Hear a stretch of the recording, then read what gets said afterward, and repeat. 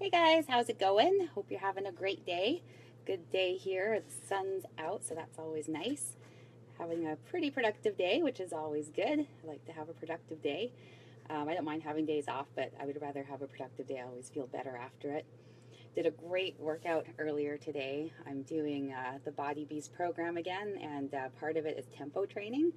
So basically, it's um, three sets of each exercise, and um, you're just playing with the timing of the reps. So you do your first set, you do 15 reps, and you go six counts positive, six counts negative. So by that, I mean if you're doing a chest press, when you're pushing out and the muscle is getting shorter, that's when that's the positive part of it. When you're coming back and the chest muscle is lengthening, that's negative. So the first set is 15 reps, slow in both directions. The second set, you get heavier weights and you go um, three counts positive and then six counts negative. And then the third set, you go even heavier for eight reps, three counts positive, three counts negative. Anyways, it's an awesome workout. I'm like shaking the whole way through and it just feels so good. I love it. I love strength training though. Hey Richard, how's it going? So, hey Paula, how are you? I'd love to see you again sometime. So, um, lately I've been uh, hearing a lot about essential oils, and it's not completely new to me. Um, I, I have used essential oils before. Um, it was back when I was going through um, some bad depression and anxiety, and I was um, having more regular panic attacks and that kind of thing. So I thought, you know, I need to do something and I talked to the natural pharmacist, and we talked about essential oils and uh, aromatherapy and all that. So that was kind of my introduction to it, and I used them, and uh, it definitely helped. Uh, it's amazing how scent affects us. Um, so that was, you know, a good thing for me to, to try out at the time.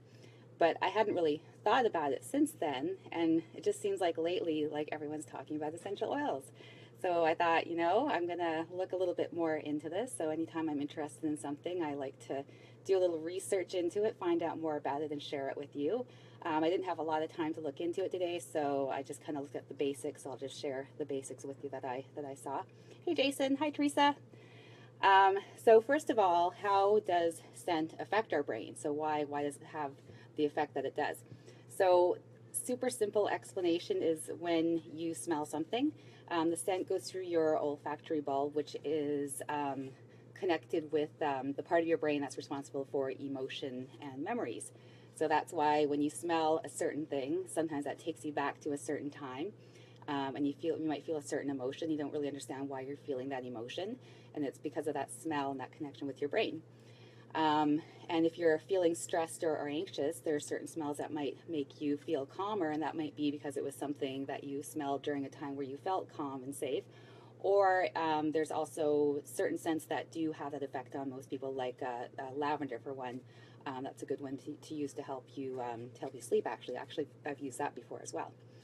Um, so scientists have discovered that scents can actually influence the biochemistry of your nervous system. So you, this, you know, it's a real thing. Scientists are are studying it. so, and it is really interesting. You know how you smell something, all of a sudden you're like brought back to this, you know, memory, or you don't even really remember the memory, but you remember the feeling of it. So it's, uh, it's pretty cool. So essential oils, um, basically, they are naturally occurring um, volatile uh, aromatic compounds and they're found in plants. And by volatile, all that means is that um, they quickly go from solid or liquid form into a gas when at room temperature. So that's why when you open a bottle of essential oils, it smells really strong. It's because it's turning into a gas really quickly. So um, they've done research and they have proven that um, it's beneficial for things such as improving mood, which um, I experienced myself, um, alleviating stress, another one that I experienced, um, improving sleep, relieving nausea, uh, relieving pain, improving your memory, and even increasing your energy. And um, I, I, find that with some sense, I'll smell it and I kind of feel like a little bit more energized. and it's interesting because at the beginning of my classes that I teach, I always ask, you know, hey, how's everyone doing? and 100% every time at least one person says tired so but by the end of it when i ask them how they're feeling they're feeling energized and great so i was thinking you know if they could come into the studio and there's a scent that makes them feel energized right from the get-go how cool would that be so i think that might be something i'm to look into adding to my studio so how do you use essential oils um, there's a few different ways. So um, you can put some drops on a diffuser, which is what I'm thinking about doing in my studio. See, see what that does. Um, you can also massage it into your skin. Uh, just be careful, they are very concentrated, so if you have sensitive skin, um, you're want to be careful with that. Um, you can massage it onto pulse points to be used as a perfume, so a good alternative to perfumes that might have irritating substances in them. Uh, put a few drops in your bath water. So that's what I did when I was um, going through my depression. I was trying to use aromatherapy, as I would get in a bath and put drops of, of oil in, and um, it was very it was a very calming, nice experience. Um, also, as a dietary supplement, but take note.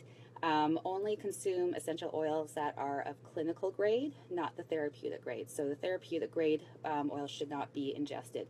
Um, I'm going to leave a link on my blog where you can kind of check out a little bit more about that in case you're curious.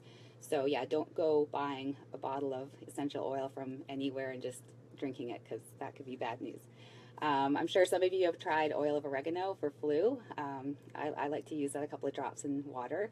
Um, that's one that that's uh, um, most of us have probably ingested before. It, I think it actually works quite well. I, I use that every time I start to get a cold. Um, and then some other uses for essential oils. So um, a cleaning spray, and I actually use tea tree oil in water to clean my studio equipment. Um, it cleans it up quite nice. It has a good scent. Um, it's not going to damage the equipment. It's not corrosive or anything like that. So that's a great um, cleaning alternative. Um, hey Peggy Sue, how's it going? Hi Maria.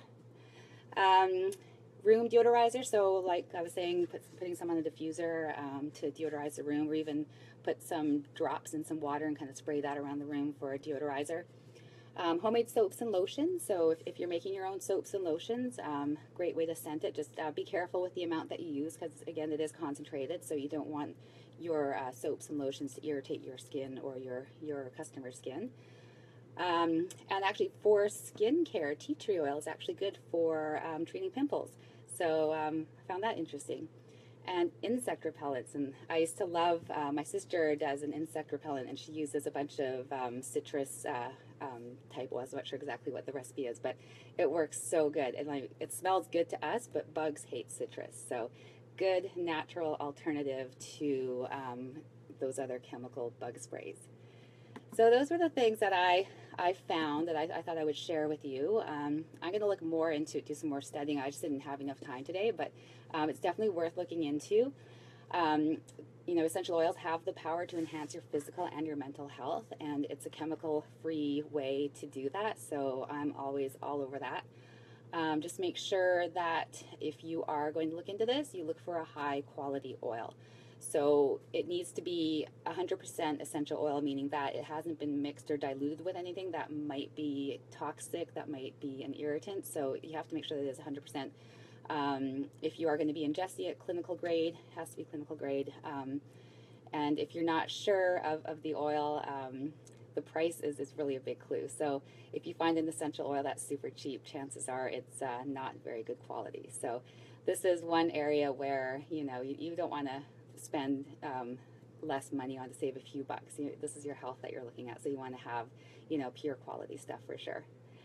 So I hope that you found that interesting. If you have any comments to add or questions, please feel free to post. Um, I'm always open to learning more stuff and answering any questions that I can. Um, I got to go and clean up the studio a little bit so that we're ready for the evening class.